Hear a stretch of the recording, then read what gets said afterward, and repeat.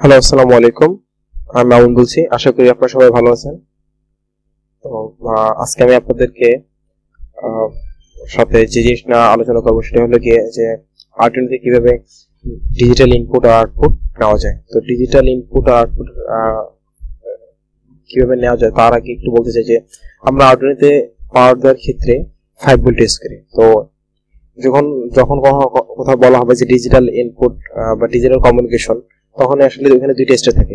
একটা হলো জিরো একটা ওয়ান যেমন কম্পিউটার ডিজিটাল ডিভাইস তো এখানে দুইটা স্টেট থাকে, সবসময় জিরো আর ওয়ান তো জিরো আর ওয়ান ছাড়া কিছুই বোঝে না। তো জিরো মানে হলো কি আর্ডিনোর ক্ষেত্রে, যেহেতু আর্ডিনো দ্বারা পার ডে ফাইভ ভোল্ট তো এখানে ডিজিটাল মানি ডিজিটাল মানি হলো গিয়ে মানে ডিজিটালি এখানে যদি আমি ওয়ান বলি, এর অর্থ হলো গিয়ে ফাইভ ভোল্ট আর যখন জিরো ভোল্ট তার মানে জিরো ভোল্ট আর্ডিনোতে ডিজিটাল ইনপুট আউটপুটের জন্য আসলে সবগুলি পিন ইউজ করা যায়। যেমন এ জিরো থেকে এ ফাইভ তারপরে জিরো থেকে থার্টিন এই চোদ্দটা পিন এই ছয়টি পিন সবগুলি আসলে ডিজিটাল ইনপুট এবং আউটপুট হিসেবে আমরা ইউজ করতে পারব।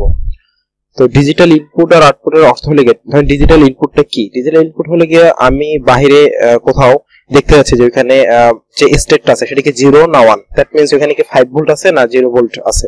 তো সেটা আমি আসলে এই আর্ডিনোর মাধ্যমে যে কোনো পিন আমি চাইলে জিরো এই জিরো অথবা থার্টিন বা সেভেন জিরো ওয়ান যে কোনো একটা পিনের মাধ্যমে আমি এটা নির্ণয় করে দেখতে পারি বা এটা আর্ডিনোর মাধ্যমে যে ওখানে কি ফাইভ ভোল্ট আছে না জিরো ভোল্ট আছে? তো এটা দেখার জন্য আমি যে ফাংশনটি ইউজ করি সেটা হল সেটা নাম হলে গিয়ে ডিজিটাল রিড তো ডিজিটাল রিড ফাংশন যেটা ইউজ করে আমি দেখতে পারি যে ওখানে ফাইভ ভোল্ট আছে না জিরো ভোল্ট আছে। দ্যাট মিনস ওখানে স্টেটটা কি ওয়ান না জিরো আবার এটাকে, এটা হলো কি ইনপুট আর আউটপুট হলো গিয়ে যে আমি চাইলে এইখান থেকে মানে আরডিনো থেকে আরডিনো যে কোনো পিন থেকে মানে থার্ড জিরো থেকে থার্টিন অথবা এ জিরো থেকে এ ফাইভ এগুলি এগুলি থেকে আমি বাইরে জিরো ভোল্ট অথবা ফাইভ ভোল্ট দিতে পারি।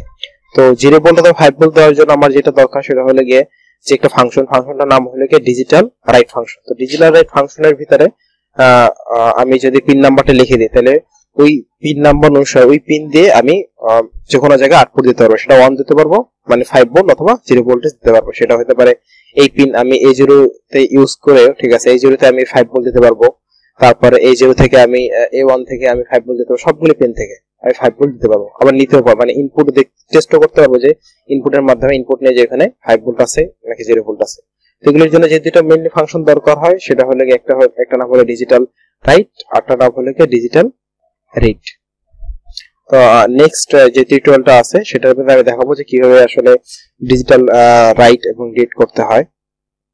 তো আপনার, আশা করি আপনারা জিনিসটা বুঝতে পেরেছেন যে ডিজিটাল ইনপুট আউটপুট কে, আর যদি আপনাদের এই নিয়ে কোনো কোশ্চেন থাকে, তাহলে নিচে কমেন্ট করবেন এই ভিডিওটির নিচে। তো আমি চেষ্টা করব যতটুকু সম্ভব আপনাদের কোশ্চেনের যথাযথ অ্যান্সার দেওয়ার জন্য। সবাইকে ধন্যবাদ।